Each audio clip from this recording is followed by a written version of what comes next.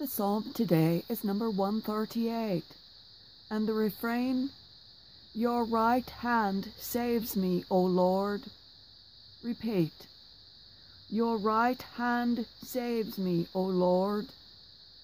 I will give thanks to you, O Lord, with all my heart, for you have heard the words of my mouth.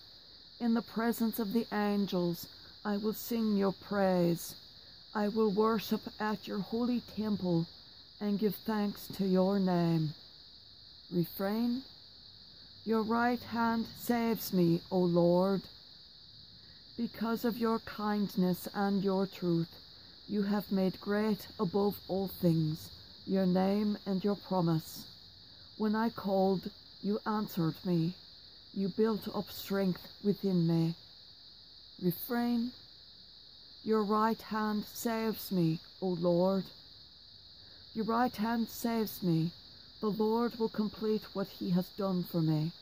Your kindness, O Lord, endures forever. Forsake not the work of your hands. Refrain. Your right hand saves me, O Lord.